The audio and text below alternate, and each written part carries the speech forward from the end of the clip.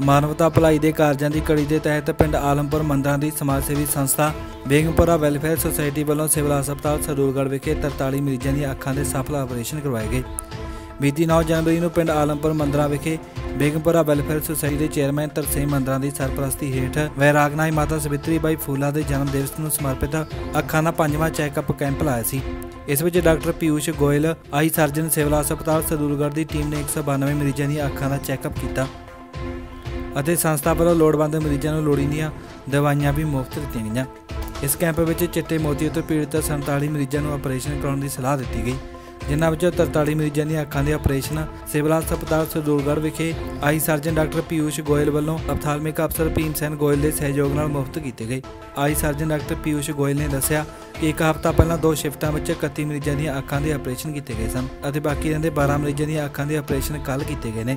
ਸੰਸਥਾ ਦੇ ਆਗੂ ਤਰਸੇਮ ਅੰਦਰਾ ਨੇ ਜਿੱਥੇ ਡਾਕਟਰ ਪੀਯੂਸ਼ ਗੋਇਲ ਦੀਆਂ ਸੇਵਾਵਾਂ ਦੀ ਪ੍ਰਸ਼ੰਸਾ ਕੀਤੀ ਉੱਥੇ ਸਿਵਲ ਸਰਜਨ ਮਾਨਸਾ ਸ਼੍ਰੀ ਲਾਲਚੰਦ ਠੋਕਰਾਲ ਦਾ ਵੀ ਵਿਸ਼ੇਸ਼ ਤੌਰ ਤੇ ਧੰਨਵਾਦ ਕੀਤਾ। ਜਿਨ੍ਹਾਂ ਦੀ ਅਗਵਾਈ ਵਿੱਚ ਅਜਿਹੇ ਕਾਬਲ ਡਾਕਟਰ ਆਪਣੀਆਂ ਸੇਵਾਵਾਂ ਦੇ ਰਹੇ ਨੇ। ਕਿੰਨਾ ਟਾਈਮ ਪਹਿਲਾਂ ਵੀ ਕਿਸੇ ਡਾਕਟਰ ਨੂੰ ਵਿਖਾਇਆ ਸੀ ਨਾ ਪਹਿਲਾਂ ਨਹੀਂ ਵਿਖਾਇਆ। ਅੱਜ ਆਪਰੇਸ਼ਨ ਹੋਇਆ ਤੁਹਾਡਾ ਤੁਹਾਡੀ ਅੱਖ ਬਣੀ ਅੱਖ ਵਧੀਆ ਸਹੀ ਦਿਸ ਰਿਹਾ? ਹਾਂ ਸਹੀ ਦੇ ਕੀ ਕੀ ਕਹਿਣਾ ਚਾਹੋਗੇ ਡਾਕਟਰਾਂ ਬਾਰੇ? ਬਹੁਤ ਹੀ ਡਾਕਟਰ ਦਾ ਧੰਨਵਾਦ ਹੈ ਬਹੁਤ ਚੰਗੀ ਬਣਾਈ ਹੈ। ਜਿਨ੍ਹਾਂ ਅੱਖਾਂ ਦਾਨ ਕੀਤੀਆਂ ਨੇ। ਕੋਲੋ ਕਿਹੜੀ ਕੋਲੋ? ਇਹ ਕਿਹੜੀ ਕੋਈ- ਕਿੰਨਾ ਨੇ ਉੱਥੇ ਕੈਂਪ ਕਿੰਨਾ ਨੇ ਲਵਾਇਆ ਸੀ? ਇੱਥੇ? ਕਿੱਦਾਂ ਲਵਾਇਆ ਬਲਵੀਰ ਕੌਰ ਨੂੰ ਅੰਦਰ। ਹਾਂਜੀ ਦੱਸੋ ਮੈਨੂੰ ਤੇ ਮੈਂ ਦੱਸਾਂ। ਕੰਮ ਹਾਂਜੀ। ਮੈਂ ਜੀ ਆਪਣਾ ਆਪਣੇ ਘਰ ਦੇ ਵਿੱਚੋਂ ਕਮਜ਼ੋਰਾ ਤੇ ਕਿਸੇ ਪਾਸੇ ਜਾ ਨਹੀਂ ਸਕਦਾ ਸੀ ਹੈ ਨਹੀਂ ਸੀ ਕੋਈ ਆਮਦਨ। ਹੁਣ ਮੇਰਾ ਆਪਰੇਸ਼ਨ ਕੈਂਪ ਦੇ ਵਿੱਚ ਹੋ ਗਿਆ ਜੀ ਵਧੀਆ ਅੱਖਾਂ ਦੇਖਣ ਲੱਗੀ। ਤਰਸੇਮ ਸਿੰਘ ਨੇ ਜੀ ਮੇਰਾ ਆਪਰੇਸ਼ਨ ਕਰਵਾਇਆ। ਸਾਡੇ 9 ਜਨਵਰੀ ਨੂੰ ਪਿੰਡ ਆਲਮਪੁਰ ਮੰਦਰਾਂ ਦੇ ਵਿੱਚ ਜੋ ਅੱਖਾਂ ਦਾ ਕੈਂਪ ਲੱਗ ਗਿਆ ਸੀਗਾ ਬੇਗਮਪੁਰਾ ਵੈਲਫੇਅਰ ਸੁਸਾਇਟੀ ਵੱਲੋਂ ਉਥੇ ਉਸ ਕੈਂਪ ਦੇ ਵਿੱਚ doctor ਪੂਸ਼ Goyal ji eye surgeon ਸਰਦੂਗੜ ਨੇ ਅ, ਉਥੇ ਸੇਵਾਵਾਂ ਨਿਭਾਈਆਂ ਸੀ। 192 ਦੇ ਕਰੀਬ ਜਿਹੜੀ ਹੈਗੀ ਸੀ ਓਪੀਡੀ ਹੋਈ ਸੀ ਜਿਹਦੇ ਵਿੱਚੋਂ ਤਕਰੀਬਨ 47 ਕੁ ਜਿਹੜਾ ਆਪਰੇ- ਆਪਰੇਸ਼ਨ ਹੋਣੇ ਸੀ।